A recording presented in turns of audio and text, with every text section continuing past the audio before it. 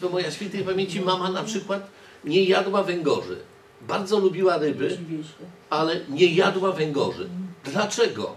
Prosta sprawa. Trauma po wojnie. Mieszkała w Gdańsku, mieszkali na Dolnym Mieście e, i po wyzwoleniu, kiedy trafili, e, t- kiedy wojska rosyjskie już stacjonowały w mieście, to raczej Rosjanie trzymali się centrów miast, tak? Więc e, natomiast e, wyruszano do tego miasta po to, żeby jakieś jedzenie zdobyć.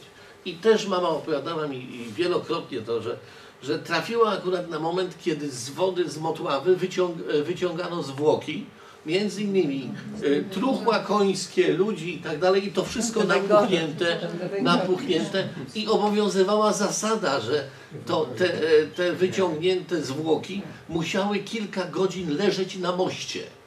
Dlaczego? Właśnie, żeby wyszły węgorze. I mama opowiadała, Piotrek, to było niesamowite. Oko, ucho, pęk, wszędzie gdzie chciałeś. Wielkie, tak?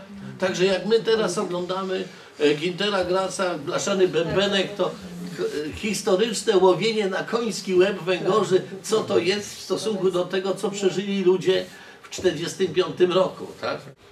E, Zdani działacze z Polonii, którzy byli więźniami obozu Sztutow. Ksiądz Bronisław Komorowski rozstrzelany 22 marca 40 roku. Słynna, słynne na święta wielkanocne, tak? Zrobiono prezent. Wielki piątek. Wielki Piątek. Z rodziny zdaje się właśnie prezydenta.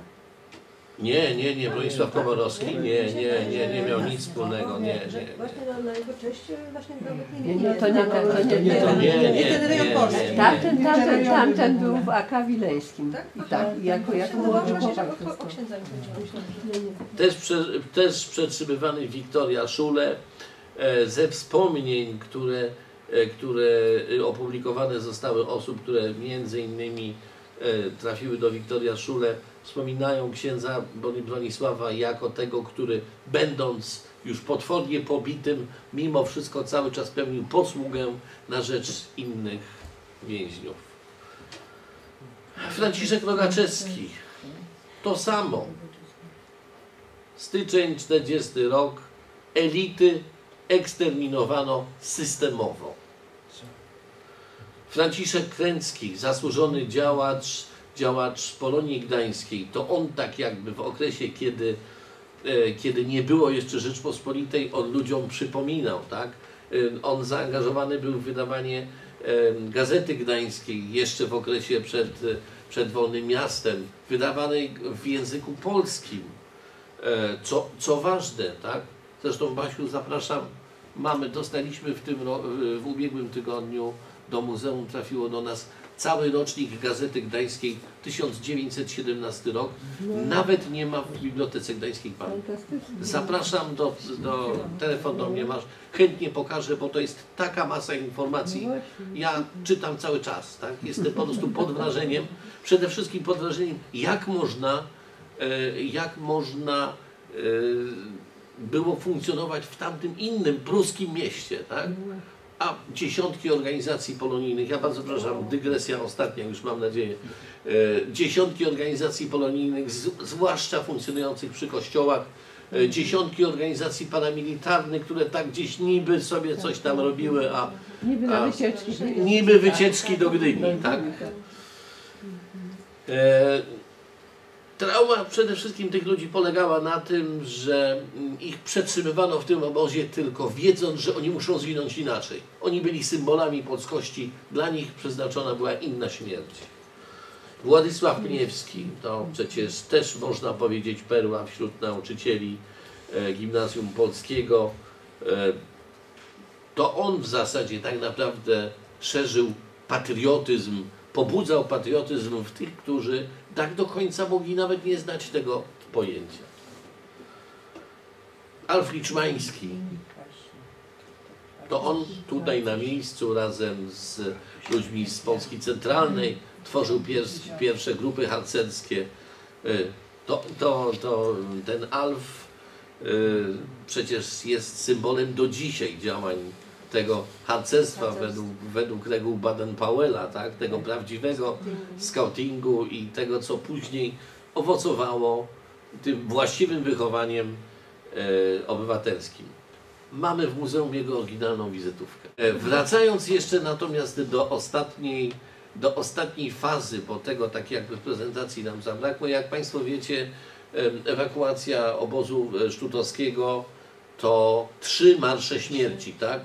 Ludzie, którzy tak naprawdę e, mieli bardzo mało energii e, i zostali zmuszeni do pozostania w obozie, zakładając, że umrą, o dziwo mieli szansę przeżyć, tak? Bo osoby, e, które zostały, z których uformowano kolumny kolumny transportu śmierci w większości położyły życie podczas tego kilkunastodniowego marszu ku lepszej przyszłości. Tak? Założenie było takie, że więźniowie, którzy wyruszają z obozu, mają trafić do miejsca, gdzie zostaną załadowani albo na statek, albo na pociąg i wywiezieni w bezpieczne miejsca. E, Pokłosie tego e, pokłosie tego, tych marszów śmierci to są te dziesiątki mogił pamiątkowych praktycznie każdej miejscowości gdańskiej, począwszy od Pruszcza Gdańskiego, czy, czy tutaj e, przyległe miejscowości, Matarnie, to e, wiecie Państwo, to był po prostu niesamowity dramat i czemu to robiono, to, to tego w ogóle nie można sobie wyobrazić, tak? Bo ja rozumiem, żeby to byli ludzie szczególnie wartościowi, tak? którzy mieli cokolwiek wnieść, bo byli potrzebni Rzeszy do czegoś jeszcze. To byli zwykli ludzie, którym po prostu nie pozwolono normalnie umrzeć. Chciano do końca e, ich wyeksploatować, zmusić, żeby z, e, po prostu oddali życie w całkowicie irracjonalny sposób. I za to właśnie, za to, że w, ten sposób e, postępowano z tymi ludźmi, kara, która za funkcjonowanie w obozach tych, tych, tych, tych nadzorców powinna być jeszcze, uważam, bardziej dosadna, dosadnie realizowana. Tu akurat w wypadku tych e, auxerinek powieszono je, e, to już nic więcej nie można zrobić. Natomiast ta męska część obozu, tak naprawdę to im się udało.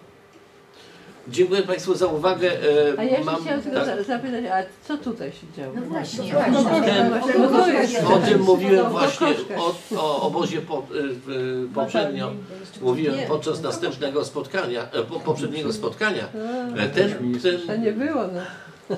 e, dobrze, ale to tak szybciutko. E, Ten podobóz to był podobóz, e, który zorganizowany był e, jako podobóz dojazdowy. Czyli tu praktycznie na miejscu nie zatrzymywali się, nie zatrzymywano e, osób, chyba że były osoby odpowiednio chore, słabe i tak dalej, to w ramach eksterminacji wymieniano ich na następnych. Tutaj przywożono codziennie około 150 osób, które zaangażowane były w pracy e, w obiektach tutaj kokoszkańskich, przede wszystkim na kolei.